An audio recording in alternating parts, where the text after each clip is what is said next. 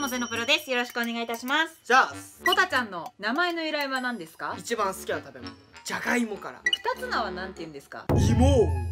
おおかっこいいでしょ？あーまあ私あんまり興味ないんだあけどさつまいもの方が好きかなって思ってるところなんですけど あはい。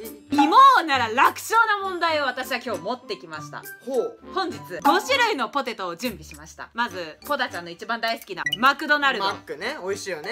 ケンタッキーモスバーガーセブンイレブンファミリーマート。5店舗のポテトを今温めております。ありがとうございます。それはなんて幸せな企画です？芋なら楽勝に当てれるって。なるほど私は信じてる。キキポテトを今からポタちゃんにやってもらいますいや楽勝。絶対。絶対当てれるよね。絶対当てれる。だって芋ですから。うん。もし全問正解できたら引き続き芋を名乗ってよいでしょう。しかし！ちょっと待って。もう一回やるね。うん。しかし！一問。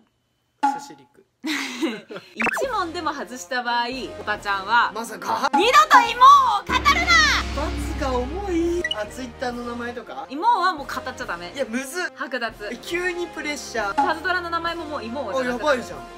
あやべえじゃん。えー、やだ。でも余裕なんでしょ？もう楽勝絶対わかる。うん。というわけでレッツポテト。ポテト。みんなもこれだけ見たら一緒に見えると思う。だけどポタちゃんは1から5の数字を適当に言ってああなるほどね。その数字のポテトから食べていただきたいと思いますわかりましキキポテトスタート。たお誕生日かなんかけ僕に得しかない企画じゃん。確かに。僕こういうのねバランス取っちゃうタイプなの。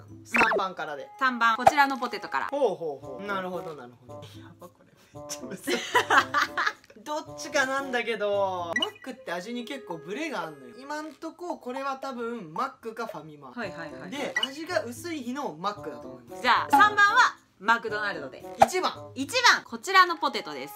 はいほうほうほう。これ特徴的ですね。うんうんうん。まあでも多分アコだなっていう。でも正直これもなんか二択感はあるんだけどおー。うまいなってかうまいんだよこれ。わかりました。これはセブンイレブン。おーなぜ？太さとこの味、セブンとモスってなんかちょっとポテトの太さ似とるんだけどこの味はねセブンの味だと思う。というわけで1番はセブン。じゃあ次何番ですか？5番で5番で。5番はこちらのポテトです。これ楽しくね？めっちゃ楽しい。てかうめえ。なんか YouTuber って感じする。いきます。はい。5番のポテト。ん？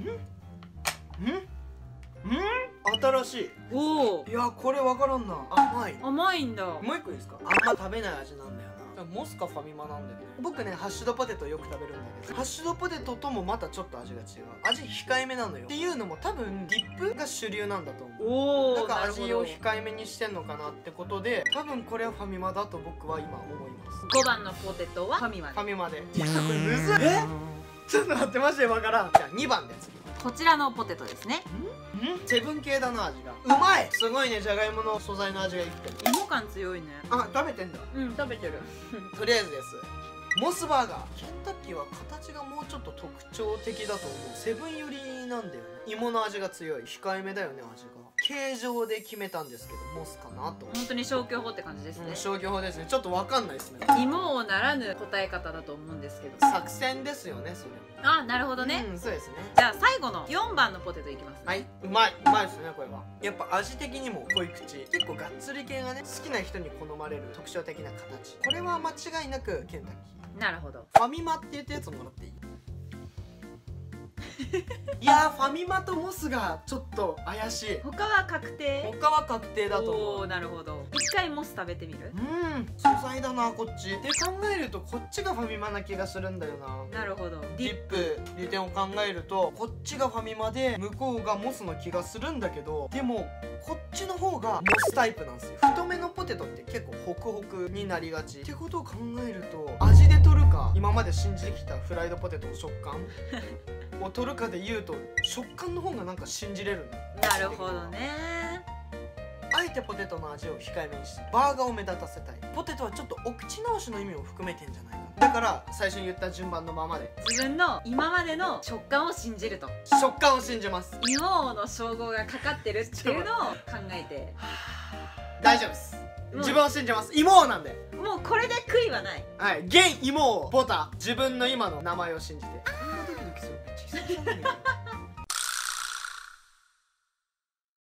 答え合わせい。きます3番のポタちゃんが、マクドナルドだと言ったポテト。答えは。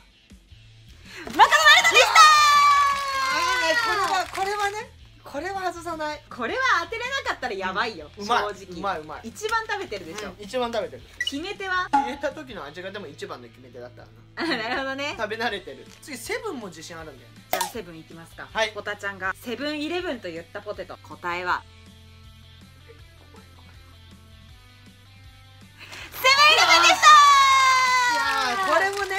れてます。バイトしてたもんね。うん、セブンのポテトめっちゃうまいのよ。美味しかったわ。味はねマックよりも上なのうまいのこれ。ポタちゃんがケンタッキーと言ったポテト。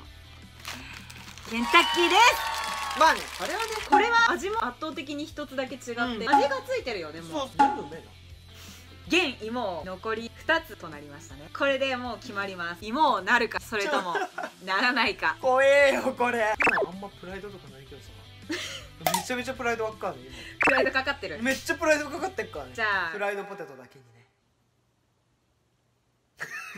じゃあモスを教えてもらおう。ポタちゃんがモスバーガーだと思ったポテト。答えは。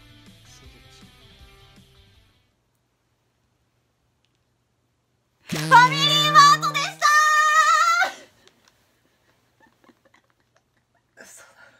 これポテトを見てもらえばわかると思うけどモスバーガー素材を大事にしてるって言ってたじゃん、ね、ファミマのポテトね皮付きなのよ。めちゃめちゃ芋の味なんだよね。すごいね。一番ね何も加工されてないモスと間違っても仕方ないなって感じの味。じゃあやっぱディップ用なんだね。味を信じれば当たってば。ファミリーマートって言った方はモスバーガーでした。うわ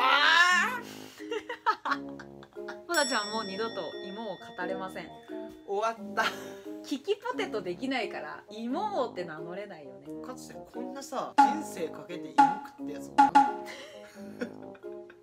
今の僕の虚無感やばいよ。